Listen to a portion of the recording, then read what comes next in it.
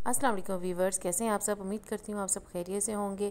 आज की रेसिपी जो मैं आप सबके लिए लेके आई हूँ, वो है बीफ शामी कबाब सबके फेवरेट तो चलिए इसको स्टार्ट करते हैं। सबसे पहले मेरे पास ये डेढ़ के जी के करीब बोनलेस बीफ था। इसको मैंने साफ़ करके एक पतीले में डाल दिया है। साथ ही मेरे पास एक पाव से थोड़ी सी ज़्यादा चने की दाल थी, जो मैंने आधा घंटा पहले भिगो दी थी, वो शामिल कर दिया है। साथ ही मैंने इसमें टू टेबल स्पून भर के लहसुन अदरक का पेस्ट शामिल कर दिया है और ये मीडियम प्याज का आधा हिस्सा चॉप करके वो भी डाल दिया है। अब हम कुछ मसाले जात ऐड कर लेते हैं। जल्दी से इसमें मैंने शामिल किया है वन टेबल स्पून भर के ज़ीरा और वन टेबल स्पून ही भर के रेड चिली फ्लेक्स या लाल धड़ा मिर्चें और इसमें लौंग दस अदद, मोटी इलायची दो अदद, दालचीनी एक स्टिक डाल दीजिए और लाल मिर्चों का पाउडर मैंने इसमें डाला है वन टेबल स्पून। नमक, मिर्च आप अपने जायके के हिसाब से भी एडजस्ट कर सकते हैं। धनिया पाउडर वन टेबल स्पून। नमक आप इसमें अपने जायके के हिसाब से डालिएगा। गरम मसाला पाउडर, वन टेबल स्पून। अब इसमें हम एक लीटर के करीब या उससे भी ज़्यादा पानी ऐड कर देंगे, जिसमें हमारी दाल और गोश्त बिल्कुल अच्छी तरह से गल जाएँ और इसको धीमी आँच में हम पकने के लिए रख देंगे। जी तो व्यूवर्स दो घंटे अच्छी तरह से बॉईल होने के बाद हमारा मिक्सचर कुछ इस तरह से रेडी है।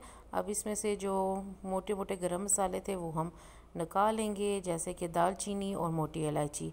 बाकी जो लौंग और काली मिर्ची वगैरह, ज़ीरा जो हमने डाला था, वो चॉपर में हम इसको चॉप कर लेंगे। आप चाहें तो इसको मामदस्ता जिसे आम ज़ुबान में लंगड़ी भी कहते हैं, उसमें भी आप कूट सकते हैं। और चाहे तो आप अपने चॉपर में भी इजी से इसको चॉप कर लें।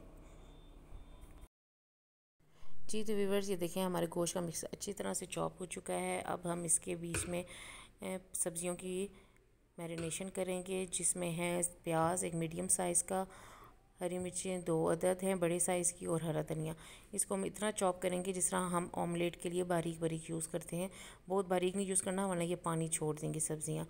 अब इनको चॉप करने के बाद हम इसी में दोबारा शामिल कर देंगे। अगर इस स्टेप में आपको नमक कम लग रहा है तो इसमें ही डाल लीजिए नमक को। वैसे तो अवल ये इतना टेस्टी बनता है कि बाज़ दफ़ा तो बच्चे तो मेरे घर में रूखा ही इसको खाने शुरू कर देते हैं। तो मुझे उम्मीद है आप इसको ज़रूर बनाएँगे और वाकई ही में बहुत अच्छे बनते हैं। अब मैं इसकी बॉल्स बना के शामी कबाब बना लूँगी। अब इस मिक्सचर के हम टिक्कियाँ बना लेंगे, शामी टिक्कियाँ, जिसको मैंने बग़ैर पानी को हाथ पे लगाए, ऐसे ही बना रही हूँ। माशाल्लाह से बहुत ज़बरदस्त बनती हैं। ना ये टूटती हैं, ना इनमें कोई क्रैक आता है। अब हम इसे बनाते जाएँगे और फ्रीज़ कर दें। तो गेस्ट आएँ, आप शाम को चाय के साथ स्नैक के तौर पे यूज़ करें। चाहे तो रात के डिनर में आके आपके घर गेस्ट आते हैं तो इसको पुलाव के साथ सर्व करें। यकीन जानिए, पुलाव के साथ इसका कॉम्बिनेशन एक परफेक्ट कॉम्बो है। तो आप ज़रूर बनाइएगा। अब मैं इसको फ्राई कर लेती हूँ। तो ये देखें अंडे में फेंट के मैंने इसको फ्राई कर लिया है और इसे डिश आउट कर लिया है। चलो। तो इसे हम थोड़ा सा काट के भी आपको दिखा दें। जी तो व्यूवर्स आपको अंदर से देखें कितने ज़बरदस्त इसका रेशा गोश्त का नज़र आ रहा होगा। तो आप भी ज़रूर बनाइएगा मुझे उम्मीद है आपको ज़रूर पसंद आएँगे और अपनी दुआओं में मुझे ज़रूर याद रखिएगा। इन नई रेसिपी के साथ फिर हाज़िर होंगे। अल्लाह हाफ़